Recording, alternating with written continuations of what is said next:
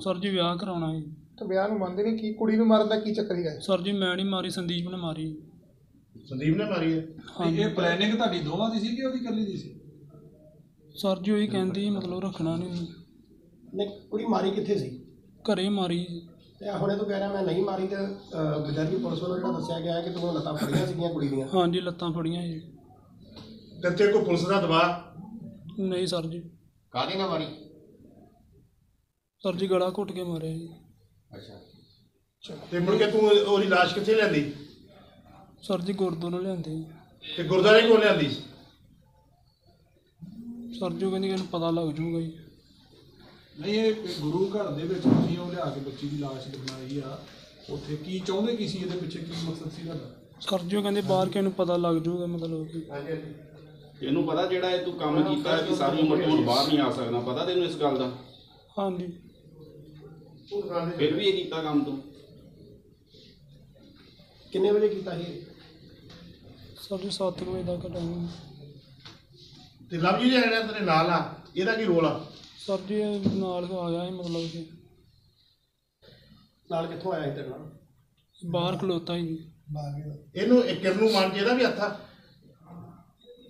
ਨਹੀਂ ਸਾਡੇ ਵੀ ਨਾਲ ਆਇਆ ਮਤਲਬ ਕਿ।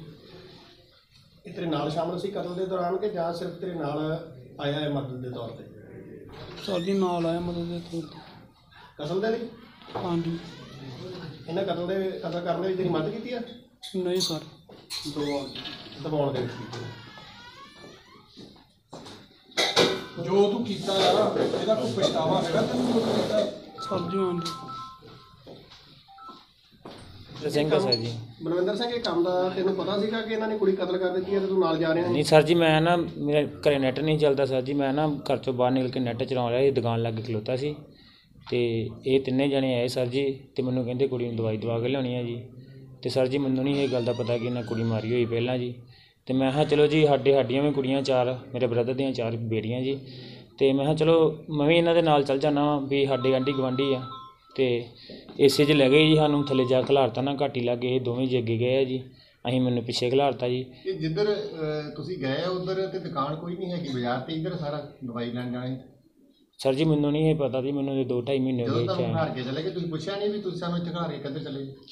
ਨਹੀਂ ਇਹ ਕਹਿੰਦੇ ਅਸੀਂ ਦਵਾਈ ਲੈਣ ਚੱਲੇ ਆ ਜੀ ਦਵਾਈ ਵੀ ਗੁਰਦਾਰੇ ਦਵਾਈ ਕਿਹੜੀ ਮਿਲਦੀ ਪਤਾ ਨਹੀਂ ਸਰ ਜੀ ਹੁਣ ਮੈਨੂੰ ਇਹ ਵਿਚਲੀ ਗੱਲ ਦਾ ਨਹੀਂ ਪਤਾ ਜਨਾਬ ਤੇ ਵੀ ਆਹ ਮੈਟਰ ਹੋਣਾ ਤੇ ਮੈਨੂੰ ਇਸ ਚੀਜ਼ ਦੇ ਵਿੱਚ ਸ਼ਾਮਲ ਹੋਣ ਦਾ ਤੈਨੂੰ ਇਹ ਚੰਗੀ ਤਰ੍ਹਾਂ ਪਤਾ ਹੈ ਨਾ ਕਿ ਉਹ ਤੈਨੂੰ ਬਹੁਤ ਲੰਬੀ ਸਜ਼ਾ ਹੋਏਗੀ। ਸਰ ਜੀ ਮੈਨੂੰ ਨਹੀਂ ਇਹ ਪਤਾ ਕਿ ਇਹਨਾਂ ਕੰਮ ਕੀਤਾ ਹੈ ਪਹਿਲਾਂ ਜੀ। ਤੇ ਸਰ ਜੀ ਜਦੋਂ ਮੈਂ ਉੱਥੇ ਖਲੋਤਾ ਰਿਹਾ ਵਾਪਸ ਨਹੀਂ ਆਇਆ ਫਿਰ ਮੈਂ ਵੀ ਆਪਣੇ ਘਰੇ ਆ ਤੈਨੂੰ ਗਿਆ। ਜਦੋਂ ਬਾਅਦ ਚ ਪਤਾ ਲੱਗ ਗਿਆ ਵੀ ਇਹਨਾਂ ਕੁੜੀ ਮਾਰੀ ਹੋਈ ਹੈ ਤੂੰ ਕਿਸੇ ਨੂੰ ਦੱਸਣ ਦੀ ਕੋਸ਼ਿਸ਼ ਕਿਉਂ ਨਹੀਂ ਕੀਤੀ ਇੰਨੇ ਦਿਨ ਸਰ ਜੀ ਮੈਂ ਡਰ ਗਿਆ ਮੈਂ ਕਦੀ ਨਹੀਂ ਸਰ ਜੀ ਠਾਣਾ ਵੇਖਿਆ ਜ਼ਿੰਦਗੀ 'ਚ ਜੀ ਕਦੀ ਇਦਾਂ ਦਾ ਮੈਂ ਕੋਈ ਹੁਣ ਕ੍ਰਾਈਮ ਨਹੀਂ ਲਿਆ ਨਾ ਕੀਤਾ। ਹੁਣ ਤੈਨੂੰ ਪਤਾ ਮੈਂ ਕਦੀ ਬਾਹਰ ਨਹੀਂ ਆਉਣਾ ਹੁਣ ਸਰ ਜੀ ਹੁਣ ਕੀ ਕਰੀਏ ਮੈਨੂੰ ਤੇ ਇਹ ਗੱਲ ਦਾ ਪਤਾ ਨਹੀਂ ਹੈਗੀ ਇਹਨਾਂ ਪਹਿਲਾਂ ਲੜਕੀ ਮਾਰੀ ਹੋਈ ਸੀ ਤੇ ਜੇ ਮੈਨੂੰ ਇੰਨੀ ਗੱਲ ਦਾ ਪਤਾ ਹੁੰਦਾ ਤਾਂ ਮੈਂ ਇਹਨਾਂ ਦੇ ਨਾਲ ਹੀ ਤੱਕ ਤੁਰਦਾ ਸਰ ਜੀ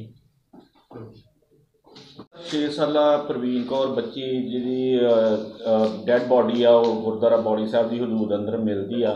ਤੇ ਉਸ ਮਾਮਲੇ ਦੇ ਵਿੱਚ ਸਰ ਕੀ ਖੁਲਾਸਾ ਹੋਇਆ? ਹਾਂ ਪਹਿਲੀ ਗੱਲ ਤਾਂ ਹੈਗੀ ਆ ਗੁਰੂ ਮਹਾਰਾਜ ਦੀ ਹਜ਼ੂਰੀ ਵਿੱਚ ਡਿਊਟੀ ਕਰਨ ਦਾ ਸਮਾਂ ਮਿਲਿਆ ਗੁਰੂ ਅਮਰਦਾਸ ਜੀ ਦੇ। ਜਿਹੜਾ ਵੀ ਪਾਪ ਕੋਈ ਗੁਰੂ ਘਰ ਦੇ ਵਿੱਚ ਜਾ ਕੇ ਕਰਦਾ ਉਹ ਗੁੱਝਾ ਨਹੀਂ ਰਹਿੰਦਾ। ਕਹਿੰਦੇ ਨਹੀਂ ਹੁੰਦੇ, ਗੁਰੂ ਘਰ ਦੇਰ ਤਾਂ ਹੋ ਸਕਦੀ ਅੰਧੇਰ ਨਹੀਂ ਹੁੰਦਾ। ਇਹ ਜਿਹੜਾ ਜਿੰਨੇ ਵੀ ਇਹ ਪਾਪ ਕੀਤਾ ਸੀ, ਆਖਰ ਨੂੰ ਆ ਸਾਹਮਣੇ ਆਉਣਾ ਸੀ। ਅਸੀਂ ਵੀ ਚਲੋ ਇਸ ਤਰ੍ਹਾਂ ਹੈ ਵੀ ਬਾਲ ਬੱਚੇ ਦਾ ਆ। ਜਿਹੜਾ ਬੱਚੀ ਦਾ ਇਸ ਤਰ੍ਹਾਂ ਹੋਇਆ ਸੀਗਾ, ਕਤਲ ਹੋਇਆ, ਉਹ ਬੜਾ ਦਿਲ ਨੂੰ ਹਲੂਣ ਦੇਣ ਵਾਲਾ ਸੀਗਾ। ਦਿਲ ਵਲੂੰਦਰਿਆ ਗਿਆ। ਇਸ ਗੱਲ ਨੂੰ ਸੁਣ ਕੇ ਅਸੀਂ ਉਸ ਤੋਂ ਬਾਅਦ ਦਿਨ ਰਾਤ ਬੜੀ ਮਿਹਨਤ ਕੀਤੀ ਹੈ ਇਸ ਕੇਸ ਦੇ ਵਿੱਚ। ਮੈਂ ਆਪਣੇ ਚਾਰੇ ਚੌਂਕੀਆਂ ਦੇ ਟੀਮਾਂ ਬੁਲਾ ਕੇ ਬੜੀ ਟੀਮਾਂ ਬਣਾ ਕੇ ਉਹਨਾਂ ਨੂੰ ਬੜੀ ਮੁਸਤੈਦੀ ਦੇ ਨਾਲ ਆਪਾਂ ਇਹ ਸਾਰੀ ਇਹਦੀ ਪੋਣ ਛਾਣ ਕਰਦੇ ਰਹੇ ਆ ਅਸਲੀਅਤ ਇਹ ਹੈ, ਇਹਦੇ ਦੋ ਐਂਗਲ ਜੁੜਦੇ ਸੀਗੇ। ਇੱਕ ਸੀ ਜੇ ਲੜਕੀ ਨਾਲ ਰੇਪ ਹੋਇਆ ਹੁੰਦਾ ਤਾਂ ਅਸੀਂ ਜਿਹੜੀ ਆ ਤਪਤੀਸ਼ ਕਿਸੇ ਦੂਸਰੇ ਐਂਗਲ ਤੇ ਚੱਲਣੀ ਸੀ। ਲੇਕਿਨ ਬੱਚੀ ਨਾਲ ਡਾਕਟਰ ਦੀ ਰਿਪੋਰਟ ਦੇ ਮੁਤਾਬਕ ਹਾਲੇ ਆਉਣੀ ਬਾਕੀ ਹੈ। ਲੇਕਿਨ ਡਾਕ- ਡਾਕਟਰ ਸਾਹਿਬ ਨੇ ਕੱਲ ਵੀ 1 ਘੰਟਾ ਉਹਨਾਂ ਮੇਰੀ ਡਿਸਕਸ ਹੋਈ ਸੀ ਉਹਨਾਂ ਨੇ ਇਹ ਬਿਲਕੁਲ ਕਲੀਅਰ ਕਰ ਦਿੱਤਾ ਵੀ ਬੱਚੀ ਨਾਲ ਰੇਪ ਨਹੀਂ ਹੋਇਆ। ਫਿਰ ਜਿਹੜੀ ਇਹ ਤਫਤੀਸ਼ ਸੀਗੀ, ਇਹਦਾ ਐਂਗਲ ਜਿਹੜਾ ਬਦਲ ਗਿਆ। ਫਿਰ ਇਹ ਰੇਪ ਨਾ ਹੋਣ ਕਰਕੇ ਇਹ ਜਿਹੜਾ ਐਂਗਲ ਸੀਗਾ, ਸ਼ੱਕ ਦਾ ਵਿਊ ਬਣ ਗਿਆ ਵੀ ਇਹ ਕਿਸੇ ਨੇ ਆਪਣੇ ਹੋਰ ਮਕਸਦ ਵਾਸਤੇ ਹੀ ਇਹਦਾ ਕਤਲ ਕੀਤਾ ਹੈ। ਜਿਹੜੀ ਤਫਤੀਸ਼ ਦੇ ਦੌਰਾਨ ਇਹ ਗੱਲ ਸਾਹਮਣੇ ਆਈ ਆ ਵੀ ਇਹ ਜਿਹੜੀ ਆ ਬੱਚੀ ਦੀ ਮਾਂ ਸੀ ਸੰਦੀਪ ਕੌਰ, ਇਹਦੇ ਕਰੀਬ ਡੇਢ ਸਾਲ ਤੋਂ। ਇੱਕ ਗੋਇੰਦਵਾਲ ਦਾ ਲੜਕਾ ਹੈਗਾ ਲਵਜੀਤ ਸਿੰਘ, ਛੋਟਾ ਨਾਂ ਸੋਨੂ ਉਹਦਾ। ਉਹਦੇ ਨਾਲ ਇਹਦਾ ਫੇਰ ਚੱਲਦਾ ਸੀ। ਫੇਰ ਦੇ ਦੌਰਾਨ ਇਹਨਾਂ ਦੀ ਵਿਆਹ ਤੱਕ ਗੱਲ ਚੱਲ ਗਈ ਸੀ। ਜਿਹੜੀ ਦੌਰਾਨੇ ਤਫਤੀਸ਼ ਇਹ ਗੱਲ ਸਾਹਮਣੇ ਆਈ ਹੈ ਵੀ ਬੱਚੀ ਨੂੰ ਲੈ ਕੇ ਇਹਨਾਂ ਦਾ ਆਪਸ ਵਿੱਚ ਦੋਵਾਂ ਦਾ ਡਿਸਪਿਊਟ ਝਗੜਾ ਹੁੰਦਾ ਰਹਿੰਦਾ ਸੀ। ਇਹ ਜਿਹੜਾ ਇਹਦਾ ਲੜ ਲਵਰ ਸੀਗਾ ਲਵਜੀਤ, ਉਹ ਬੱਚੀ ਨੂੰ ਨਹੀਂ ਰੱਖਣਾ ਚਾਹੁੰ- ਚਾਹੁੰਦਾ ਤੇ ਮੈਰਿਜ ਜ਼ਰੂਰ ਉਹਨਾਂ ਕਰਾਉਣਾ ਚਾਹੁੰਦਾ ਸੀ। ਫਿਰ ਕੀ ਹੋਇਆ, ਦਰਾਨੇ ਤਫਤੀਸ਼ ਜਿਹੜਾ ਲਵਜੀਤ ਸਿੰਘ ਹੈ, ਜਦੋਂ ਇਹਨੂੰ ਫੜਿਆ ਗਿਆ ਪੁੱਛ ਪੜਤਾਲ ਕੀਤੀ ਗਈ ਹੈ, ਤਾਂ ਗੱਲ ਸਾਹਮਣੇ ਨਿਕਲੀ ਹੈ ਵੀ ਬੱਚੀ ਜਿਹੜੀ ਆ ਤੀਹ ਤਰੀਕ ਨੂੰ ਗੁਰਦੁਆਰਾ ਸਾਹਿਬ ਤੋਂ ਰੋਟੀ ਖਾ ਕੇ ਲੰਗਰ ਛਕ ਕੇ ਆ ਚੁੱਕੀ ਸੀ। ਜਦੋਂ ਇਹ 7 ਵਜੇ ਘਰੇ ਚਲ ਜਾਂਦਾ ਹੈ, ਲੜਕੀ ਜਿਹੜੀ ਬੱਚੀ ਆ ਮੰਜੇ ਤੇ ਸੁੱਤੀ ਪਈ ਸੀ। ਦਰਾਨੇ ਤਫਤੀਸ਼ ਸਾਰੀ ਸਾਹਮਣੇ ਆਈ ਗੱਲ। ਇਹਨਾਂ ਨੇ 4-5 ਦਿਨ ਪਹਿਲਾਂ ਜਿਹੜੀ ਇਹ ਵਿਉਂਤਬੰਦੀ ਬਣਾਈ ਸੀ ਬੱਚੀ ਨੂੰ ਵਿੱਚੋਂ ਹਟਾਉਣ ਦੀ। ਬੱਚੀ ਦਾ ਗਲਾ ਜਿਹੜਾ ਉਹ ਆਪਣੇ ਉਸ ਦੀ ਮਾਂ ਜਿਹੜੀ ਆ ਸੰਦੀਪ ਕੌਰ ਉਹਨੇ ਕੁੱਟਿਆ। ਇਹਨੇ ਉਹਦੀਆਂ ਲੱਤਾਂ ਫੜੀਆਂ ਬੱਚੀ ਦੀਆਂ। ਬੱਚੀ ਜਦੋਂ ਇਹਨਾਂ ਦੇ ਕਹਿਣ ਮੁਤਾਬਕ ਮਰ ਚੁੱਕੀ ਸੀ ਤੇ ਇਹਨਾਂ ਨੇ ਆਪਣੀ ਮਾਸੀ ਜਿਹੜੀ ਉਹਨਾਂ ਦੀ ਭੈਣ ਵੀ ਲਾਗੇ ਰਹਿੰਦੀ ਆ, ਜਿਹੜੀ ਸੰਦੀਪ ਕੌਰ ਦੀ, ਉਹਨੂੰ ਵੀ ਉੱਥੇ ਸੱਦ ਲਿਆ। ਫਿਰ ਇਹਨਾਂ ਨੇ ਇੱਕ ਬਹਾਨਾ ਬਣਾ ਲਿਆ ਵੀ ਬੱਚੀ ਨੂੰ ਇਹਨਾਂ ਮੋਢੇ ਲਾਇਆ, ਉਹਦੀ ਮਾਂ ਨੇ ਤੇ ਉਹਨੂੰ ਕਹਿਤਾ ਵੀ ਅਸੀਂ ਦਵਾਈ ਦਿਵਾਉਣ ਲਿਜਾਣਾ ਬਾਹਰ ਇਹਨਾਂ ਦੇ ਇੱਕ ਉੱਥੇ ਹੀ ਕਿਰਾਏ ਤੇ ਰਹਿੰਦਾ ਸੀ ਕਿਉਂਕਿ ਇਹ ਕਿਰਾਏ ਤੇ ਰਹਿ ਰਹੀ ਹੈ ਫੈਮਿਲੀ ਕਿਰਾਏ ਤੇ ਉੱਥੇ ਰਹਿੰਦਾ ਸੀ ਇੱਕ ਬਲਵਿੰਦਰ ਸਿੰਘ ਕਾਕਾ ਨਾਂ ਦਾ ਮੁੰਡਾ ਹੈ। ਉਹਨੂੰ ਅਸੀਂ ਵੀ ਗ੍ਰਿਫਤਾਰ ਕਰ ਲਿਆ ਸੀ, ਨਾਮਜ਼ਦ ਹੋ ਗਿਆ ਸੀ ਉਹ ਵੀ ਕੇਸ ਦੇ ਵਿੱਚ। ਉਹਦੇ ਵਿੱਚ ਇਹ ਹੋਇਆ ਸੀ ਵੀ ਉਹ ਆਪਣੇ ਘਰ ਦੇ ਬਾਹਰ, ਘਰ ਦੇ ਬਾਹਰ ਆਪਣਾ ਉਹ ਨੈਟ ਚਲਾ ਰਿਹਾ ਸੀ, ਕਿਉਂਕਿ ਉਹਦੇ ਦੱਸਣ ਮੁਤਾਬਕ ਇਹ ਜਿਹੜੇ ਜਿੱਥੇ ਕਿ ਅਸੀਂ ਰਹਿੰਦੇ ਆ ਉੱਥੇ ਨਾ ਨੈਟ ਦੀ ਰੇਂਜ ਨਹੀਂ ਸੀ ਆ ਰਹੀ ਤਾਂ ਮੈਂ ਗਲੀ ਦੇ ਬਾਹਰ ਜਾ ਕੇ ਉੱਥੇ ਖੜਾ ਹੋ ਕੇ ਆਪਣਾ ਮੋਬਾਈਲ ਚਲਾ ਰਿਹਾ ਸੀ ਨੈਟ ਦਾ। ਜਦੋਂ ਇਹ ਤਿੰਨੇ ਜਣੇ ਜਿਹੜੀ ਬੱਚੀ ਦੀ ਮਾਂ ਸੰਦੀਪ ਕੌਰ, ਉਹਨੇ ਬੱਚੀ ਨੂੰ ਗਲ ਨੂੰ ਇਦਾਂ ਕੁੱਛੜ ਚੁੱਕਿਆ ਹੋਇਆ ਸੀ, ਉੱਤੇ ਕੋਈ ਕੱਪੜਾ ਲਿਆ ਹੋਇਆ ਸੀ ਤੇ ਇਹ ਤਿੰਨੇ ਜਾਣੇ ਲੜਕੀ ਦੀ ਮਾਂ ਸੰਦੀਪ ਕੌਰ, ਉਹਦਾ ਜਿਹੜਾ ਲਵਰ ਹੈਗਾ ਲਵਜੀਤ ਸਿੰਘ ਤੇ ਉਹਦੀ ਜਿਹੜੀ ਆ ਭੈਣ ਮਾਸੀ ਉਹਦੀ ਹੀ ਲੜਕੀ ਦੀ ਉਹਦਾ ਨਾਂ ਹੈਗਾ ਜੇ ਸੁਮਨਦੀਪ। ਇਹ ਤਿੰਨੇ ਜਾਣੇ ਜਦੋਂ ਬਾਹਰ ਗਲੀ ਚੋਂ ਨਿਕਲੇ ਤਾਂ ਕਹਿੰਦਾ ਵੀ ਇਹਨਾਂ ਨੇ ਮੈਨੂੰ ਆਣ ਕੇ ਇਹ ਗੱਲ ਕਹੀ ਆ ਵੀ ਬੱਚੀ ਨੂੰ ਨਾ ਬੁਖਾਰ ਹੋ ਗਿਆ, ਬਿਮਾਰ ਆ, ਤਾਂ ਆਪਾਂ ਦਵਾਈ ਲੈਣ ਜਾਣਾ। ਅਸੀਂ ਸਾਂਝੇ ਤੌਰ ਤੇ ਉੱਥੇ ਰਹਿੰਦੇ ਸੀ ਤੇ ਕਹਿੰਦੇ ਇੱਕ ਦੂਜੇ ਦਾ ਦੁੱਖ ਸੁੱਖ ਦੇਖਦੇ ਸੀ ਤੇ ਮੈਂ ਉਸੇ ਸੋਚ ਵਿੱਚ ਇਹਨਾਂ ਦੇ ਨਾਲ ਤੁਰ ਪਿਆ। ਜਦੋਂ ਰਸਤੇ ਵਿੱਚ ਅਸੀਂ ਜਿਹੜਾ ਰਸਤਾ ਅਪਣਾਇਆ ਸੀ, ਉਹ ਸੀਗਾ ਨਿੰਮ ਵਾਲੀ ਘਾਟੀ ਤੋਂ ਥੱਲੇ ਵਾਲਾ ਰਸਤਾ ਜਿਹੜਾ ਮੜੀਆਂ ਨੂੰ ਜਾਂਦਾ। ਮੜੀਆਂ ਨੂੰ ਰਸਤੇ ਤੋਂ ਜਾਂਦੇ ਹੋਏ ਇਹਨਾਂ ਨੇ ਕਹਿੰਦੇ ਵੀ ਥੋੜਾ ਜਿਹਾ ਹਟਵਾ ਸਾਨੂੰ ਉਸ ਉੱਥੇ ਖਿਲਾਰ ਦਿੱਤਾ ਮੈਨੂੰ ਕਾਕੇ ਨੂੰ ਤੇ ਉਹ ਜਿਹੜੀ ਉਹਦੀ ਭੈਣ ਸੀ ਸੁਮਨ ਨੂੰ। ਤਾਂ ਲਵਜੀਤ ਤੇ ਉਹਦੀ ਜਿਹੜੀ ਸੰਦੀਪ ਆ, ਬੱਚੀ ਦੀ ਮਾਂ, ਇਹ ਦੋਵੇਂ ਜਾਣੇ ਜਿਹੜਾ ਗੇਟ ਲੱਗਾ ਹੋਇਆ ਸੀ, ਉਹਦੀ ਬਾਰੀ ਜਿਹੜੀ ਆ, ਉਹ ਖੁੱਲੀ ਸੀ। ਉਹਦੇ ਰਾਹੀਂ ਇੰਟਰ ਹੋਏ ਆ। ਇੰਟਰ ਹੋਣ ਤੋਂ ਬਾਅਦ ਇਹ ਜਿਹੜੀ ਤਫਤੀਸ਼ ਵਿੱਚ ਆਈ ਗੱਲ, ਇਹਨਾਂ ਨੇ ਇਹ ਗੱਲ ਕਹੀ ਹੈ ਵੀ ਜਿਹੜੀ ਉੱਥੇ ਢੇਰ ਲੱਗਾ ਹੋਇਆ ਸੀ ਪਾਰਕਿੰਗ ਦੇ ਨਾਲ ਰੇਤਾ ਦਾ, ਉਹਦੇ ਵਿੱਚ ਅਸੀਂ ਜਿਹੜੀ ਹੈ ਬੱਚੀ ਨੂੰ ਦਬਾ ਦਿੱਤਾ। ਜਿਹੜਾ ਹੈਗਾ ਵਾ, ਜਿਹੜੀ ਰੇਤ ਆ, ਉੱਥੋਂ ਕਹਿੰਦਾ ਵੀ ਹੱਥਾਂ ਦੇ ਨਾਲ ਮੈਂ ਪਾਈ ਸੀ। ਮੁੜ ਕੇ ਜਿਹੜੀ ਹੈਗੀ ਉਹਦੀ ਸਿੱਲ ਜਿਹੜੀ ਸੀ, ਉੱਥੋਂ ਚੱਕ ਕੇ ਉਹ ਸੰਦੀਪ ਨੇ ਰੱਖੀ ਉੱਤੇ। ਜਦੋਂ ਅੱਧਾ ਘੰਟਾ ਬੀਤਣ ਤੋਂ ਬਾਅਦ ਇਹ ਹਲੇ ਆਏ ਨਹੀਂ ਬਾਹਰ ਅਤੇ ਇਹ ਕਾਕੇ ਦੇ ਜਵਾਨੀ ਹੈਗਾ, ਬਲਵਿੰਦਰ ਦੇ ਵੀ ਅਸੀਂ ਉਡੀਕਣ ਤੋਂ ਬਾਅਦ ਅਸੀਂ, ਮੈਂ ਅਤੇ ਉਹਦੀ ਭੈਣ, ਮੈਂ ਵੀ ਅਸੀਂ ਵਾਪਸ ਆ ਗਏ ਵੀ ਮੈਂ ਉਹਨਾਂ ਨੂੰ ਕਿਹਾ ਵੀ ਮੈਂ ਘਰ ਦੇ ਮੇਰੇ ਉਡੀਕਦੇ ਹੋਣੇ। ਜਦ ਕਿ ਇਹਨੂੰ ਵੀ ਮਾੜਾ ਜਿਹਾ ਇਹ ਸੁੰਦਕ ਲੱਗ ਗਈ ਸੀ ਵੀ ਆਹ ਗੱਲ ਹੋ ਗਈ ਹੈ ਅਤੇ ਇਹ ਵੀ ਅਸਲੀ ਡਰ ਗਿਆ ਸੀ। ਇਹ ਜਦੋਂ ਵਾਪਸ ਆਉਣ ਲੱਗਾ ਤਾਂ ਸੰ ਜਿਹੜੀ ਸੰਦੀਪ ਦੀ ਭੈਣ ਸੀ ਉਹ ਵੀ ਵਾਪਸ ਇਹਦੇ ਨਾਲ ਹੀ ਆ ਗਈ। ਇਹ ਵਾਪਸ ਘਰੇ ਆ ਗਏ। ਇਹਦੇ ਵਿੱਚ ਆਪਾਂ ਨੂੰ 9 ਤਰੀਕ ਨੂੰ ਇਹ ਦੋਸ਼ੀ ਜਿਹੜੇ ਆ ਚਾਰ ਜਿਹੜੇ ਸੀ ਉਹ ਨਾਮਜ਼ਦ ਹੋ ਗਏ ਨੇ। ਇਹਦੇ ਵਿੱਚ ਇੱਕ ਜਿਹੜੀ ਮੇਨ ਦੋਸ਼ਣ ਹੈਗੀ ਹੈ ਉਹ ਹੈਗੀ ਆ ਸੰਦੀਪ ਕੌਰ। ਉਸ ਦੇ ਨਾਲ ਉਹਦਾ ਲਵਰ ਹੈਗਾ ਲਵਜੀਤ ਸਿੰਘ ਮੇਨ ਦੋਸ਼ੀ ਨੇ। ਬਾਕੀ ਜਿਹੜੇ ਹੈਗੇ ਨੇ ਉਹਦੀ ਭੈਣ ਸੁਮਨਪ੍ਰੀਤ ਇੱਕ ਜਿਹੜਾ ਹੈਗਾ ਜੇ ਕਾਕਾ ਜਿਹਦਾ ਨਾਮ ਬਲਵਿੰਦਰ ਸਿੰਘ ਹੈ ਇਹ 120 ਬੀ ਚ ਆਉਂਦੇ ਨੇ ਕਿਉਂਕਿ ਇਹਨਾਂ ਨੂੰ ਪਤਾ ਹੋਣ ਦੇ ਬਾਵਜੂਦ ਵੀ ਇਹ ਨਾਲ ਗਏ ਉੱਥੇ। ਉਹਦੇ ਵਿੱਚ ਹੁਣ ਅਸੀਂ ਜਿਹੜਾ ਹੈ, ਪਰਚਾ ਦਰਜ ਕਰਨ ਤੋਂ ਬਾਅਦ ਕੱਲ ਜਿਹੜਾ ਹੈਗਾ ਆ ਡਿਸਪਿਊਟ ਜਿਹੜਾ ਇਹਨਾਂ ਦਾ ਚੱਲਦਾ ਸੀ ਐਕਚੁਅਲੀ ਜਿਹੜੀ ਹੈਗੀ ਆ ਸੰਦੀਪ ਕੌਰ ਇਹ ਤੀਸਰੇ ਥਾਂ ਆਣ ਕੇ ਇਹਦੇ ਨਾਲ ਬੈਠਣ ਨੂੰ ਫਿਰ ਰਹੀ ਸੀ। ਇਹਦੇ ਨਾਲ ਫੇਅਰ ਕੀਤਾ ਨੇ ਤੀਸਰੇ ਥਾਂ ਆਣ ਕੇ। ਜਿਹੜੇ ਪਹਿਲਾਂ ਇਹ ਵਿਆਹੀ ਹੋਈ ਸੀ ਕੰਬੋ ਪਿੰਡ ਕੰਬੋ ਪਿੰਡ ਤੋਂ ਇਹਦਾ ਅ, ਜਿਹੜੇ ਹੈਗਾ ਘਰ ਵਾਲਾ ਉਹਨੂੰ ਬੁਲਾਇਆ ਗਿਆ। ਉਹਦੇ ਉਹਦੇ ਬਿਆਨਾਂ ਦੇ ਉੱਤੇ ਫਿਰ ਇਹ ਜਿਹੜਾ ਪਰਚਾ ਜਿਹੜਾ ਵਾ ਜਿਹੜੇ ਇਹਦੇ ਵਿੱਚ ਬਣੀ ਸੀ ਮਦਈ ਉਹਦੀ ਮਾਂ ਉਹ ਇਹਦੇ ਵਿੱਚ ਦੋਸ਼ਣ ਸਾਬਤ ਹੋ ਚੁੱਕੀ ਹੈ। ਤਾਂ ਇਹ ਚਾਰ ਦੋਸ਼ੀ ਬਿਲਕੁਲ ਨਾਮਜ਼ਦ ਹੋ ਚੁੱਕੇ ਨੇ ਇਹਦੇ ਵਿੱਚ ਜਿਨ੍ਹਾਂ ਵਿੱਚੋਂ ਅਸੀਂ ਲਵਜੀਤ ਅਤੇ ਉਹਦਾ ਬਲਵਿੰਦਰ ਸਿੰਘ ਉਹਨੂੰ ਗ੍ਰਿਫਤਾਰ ਕਰ ਲਿਆ। ਅੱਜ ਉਹਨਾਂ ਨੂੰ ਪੇਸ਼ ਅਦਾਲਤ ਕੀਤਾ ਸੀ ਤਾਂ ਉਹਨਾਂ ਦਾ 14 ਤਰੀਕ ਤੱਕ ਦਾ ਪੁਲਿਸ ਰਿਮਾਂਡ ਲਿਆ ਸੀ।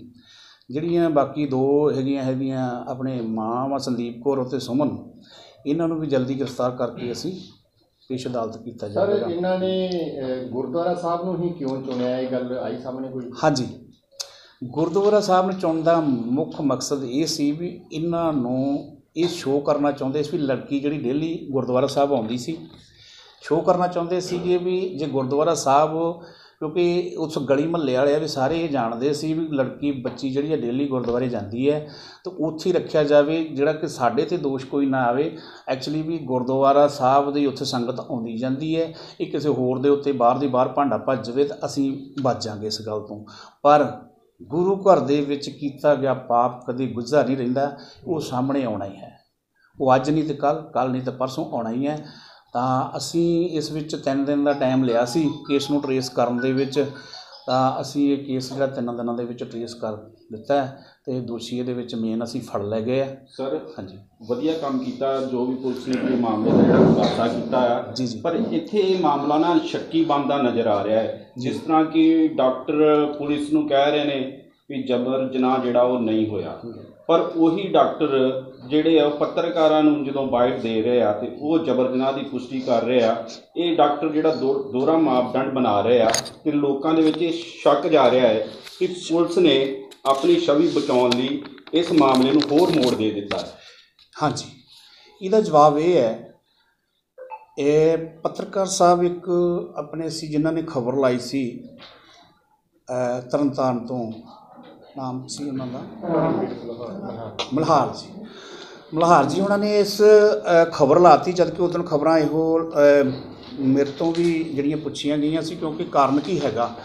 ਇਹਦੇ ਵਿੱਚ ਕਿਉਂਕਿ ਬੱਚੀ ਦਾ ਮਾਮਲਾ ਹੀ ਸੰਗੀਨ ਜੁਰਮ ਸੀ, ਇਹਦੇ ਵਿੱਚ ਬਿਲਕੁਲ ਅਸੀਂ ਕਿਸੇ ਪਾਸਿਓਂ ਵੀ ਮਾਸਾ ਵੀ ਕਤਾਈ ਨਹੀਂ ਵਰਤਣਾ ਚਾਹੁੰਦੇ ਸੀ। ਉਹਦੇ ਵਿੱਚ ਕੀ ਹੋਇਆ, ਜਦੋਂ ਬੱਚੀ ਦਾ ਪੋਸਟਮਾਰਟਮ ਹੋਇਆ, ਉਹਦੇ ਵਿੱਚ ਬਿਲਕੁਲ ਮੈਂ ਉੱਥੇ ਸ਼ੁਰੂ ਤੋਂ ਲੈ ਕੇ ਅਖੀਰ ਤੱਕ ਬੱਚੀ ਦੇ ਸੰਸਕਾਰ ਤੱਕ ਨਾਲ ਰਿਹਾ। ਜਦੋਂ ਬੱਚੀ ਦਾ ਪੋਸਟਮਾਰਟਮ ਹੋਣਾ ਸੀ, ਉਹਦੇ ਸੰਬੰਧੀ ਅਸੀਂ ਰਿਕੁਐਸਟ ਕਰਕੇ ਅਸੀਂ ਉਹਦੀ ਜਿਹੜੀ ਵੀਡੀਓਗ੍ਰਾਫੀ ਉੱਥੇ ਮੌਕੇ ਤੇ ਕਰਵਾਈ ਗਈ ਹੈ। ਉਹ ਸਾਡੇ ਕੋਲ ਰਿਕਾਰਡ ਹੈਗਾ ਜੇ। ਉਸ ਤੋਂ ਬਾਅਦ ਇਸੇ ਪੋਸਟਮਾਰਟਮ ਦੇ ਦੌਰਾਨ ਮੈਂ ਅਲੀਸ਼ਾ ਡਾਕਟਰ ਨੇ ਜਿਹੜੀ ਮੇਨ ਸੀ ਉਹਨਾਂ ਦੀ, ਤਿੰਨ ਡਾਕਟਰਾਂ ਦੀ ਟੀਮ ਬਣੀ ਸੀ ਬੋਰਡ ਦੀ, ਜਿਹਦੇ ਵਿੱਚ ਤਿੰਨੇ ਲੇਡੀ ਸੀ ਜਿਨ੍ਹਾਂ ਉਹਨਾਂ ਦੀ ਸੀਨੀਅਰ ਸੀ ਅਲੀਸ਼ਾ ਮੈਡਮ, ਡਾਕਟਰ ਸਾਹਿਬ। ਉਹਨਾਂ ਨਾਲ ਮੇਰੀ ਦਰਾਨੇ ਪੋਸਟਮਾਰਟਮ ਤਿੰਨ ਵਾਰੀ ਗੱਲ ਹੋਈ, ਸਿਰਫ ਉਹ ਇਸੇ ਵਾਸਤੇ ਵੀ ਇਸ ਦੇ ਨਾਲ ਕੋਈ ਬਲਾਤਕਾਰ ਜਾਂ ਰੇਪ ਵਗੈਰਾ ਹੋਣ ਦਾ ਹੈਗੀ ਦਿਸ ਰਿਹਾ ਕੁਝ ਉਹਨਾਂ ਨੇ ਮੈਨੂੰ ਤਿੰਨੇ ਵਾਰੀ ਇਹੋ ਜਵਾਬ ਦਿੱਤਾ ਸੀ ਵੀ ਬਿਲਕੁਲ ਇਹਦੇ ਰੇਪ ਹੋਣ ਦਾ ਕੋਈ ਨਹੀਂ ਦਿਸ ਰਿਹਾ ਵੀ ਇਹਦੇ ਨਾਲ ਰੇਪ ਹੋਇਆ ਜਾਂ ਨਹੀਂ। ਪਰ ਫਿਰ ਵੀ ਅਸੀਂ ਫਾਰਮੈਲਿਟੀ ਤੌਰ ਤੇ ਅਸੀਂ ਇਹਦੇ ਜਿਹੜੇ ਸਵੈਬ ਲੈ ਕੇ ਅਸੀਂ ਉਹ ਜਿਹੜੀ ਹੈ ਜਿਹੜੀ ਲੈਬ ਜਿਹੜੀ ਆ ਫਰਾਂਸਕ ਨੂੰ ਅਸੀਂ ਐਫਐਸਐਲ ਭੇਜ ਰਹੇ ਹਾਂ। ਪਰ ਬਿਲਕੁਲ ਇਹਨਾਂ ਜਿਹੜਾ ਰੇਪ ਨਹੀਂ ਹੋਇਆ। ਇਸ ਦਾ ਜਿਹੜਾ ਜਵਾਬ ਆ, ਮਲਿਆਰ ਸਿੰਘ ਨੂੰ ਮੈਂ ਇਹ ਗੱਲ ਕਹੀ ਸੀ, ਅਹ, ਵੀ ਤੁਸੀਂ ਜਾਂ ਤਾਂ ਇਹ ਮੈਨੂੰ ਪੁੱਛ ਲੈਂਦੇ ਜਾਂ ਫਿਰ ਕਿਸੇ ਡਾਕਟਰ ਸਾਹਿਬ ਨੂੰ ਪੁੱਛ ਲੈਂਦੇ। ਉਹਨਾਂ ਨੇ ਇਹ ਗੱਲ ਕਹਿ ਦਿੱਤੀ ਵੀ ਮੈਂ ਡਾਕਟਰ ਨੂੰ ਪੁੱਛਿਆ ਸੀ। ਇਸੇ ਕਰਕੇ ਮੈਂ ਕੱਲ ਫੇਰ ਅੱਧਾ ਘੰਟਾ ਉਹ ਡਾਕਟਰ ਲੀਸ਼ਾ ਜੀ ਪਾਸ ਗਿਆ, ਉਹਨਾਂ ਨਾਲ ਰਾਬਤਾ ਕੀਤਾ। ਉਹਨਾਂ ਨੇ ਕਿਹਾ ਵੀ ਮੈਨੂੰ ਕਿਸੇ ਦਾ ਫੋਨ ਨਹੀਂ ਆਇਆ ਪੱਤਰਕਾਰ ਦਾ ਤੇ ਨਾ ਮੈਂ ਕਿਸੇ ਨੂੰ ਇਹ ਗੱਲ ਕਹੀ ਆ ਵੀ ਉਹਦੇ ਨਾਲ ਰੇਪ ਹੋਇਆ।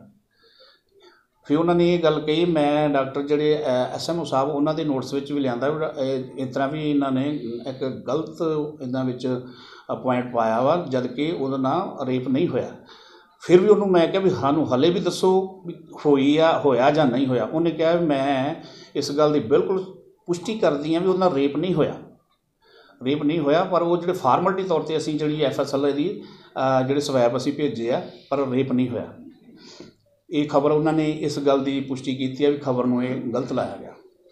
ਇਹ ਜਿਹੜੀ ਬੱਚੀ ਦੀ ਮਾਤਾ ਸੰਦੀਪ ਕੌਰ ਆ ਤੇ ਜਿਹੜਾ ਤੁਸੀਂ ਦੱਸਿਆ ਕਿ ਉਹਦੀ ਮਾਸੀ ਆ ਹਾਂਜੀ। ਇਹ ਹਾਲੇ ਤੱਕ ਪੁਲਿਸ ਦੀ ਗ੍ਰਿਫਤ ਤੋਂ ਬਾਹਰ ਕੀ ਗੱਲ ਇਹ ਮੌਜੂਦ ਨਹੀਂ ਸੀ ਘਰੇ ਜਾਂ ਕੀ? ਇਹ ਕਾਰਨ ਇਹ ਸੀ ਵੀ ਜਦੋਂ ਇਹਨਾਂ ਕਿਉਂਕਿ ਗੱਲ ਜਿਹੜੀ ਹੌਲੀ ਹੌਲੀ ਸਾਰੇ ਪਿੰਡ ਵਿੱਚ ਉੜ ਚੁੱਕੀ ਸੀ ਦੌਰਾਨੇ ਪੁੱਛਗਿੱਛ ਇਹ ਸਾਹਮਣੇ ਆ ਚੁੱਕਾ ਸੀਗਾ ਵੀ ਇਹ ਮਾਂ ਦਾ ਤੇ ਉਹਦੀ ਮਾਸੀ ਦਾ ਵੀ ਵਿੱਚ ਰੋਲ ਹੈ।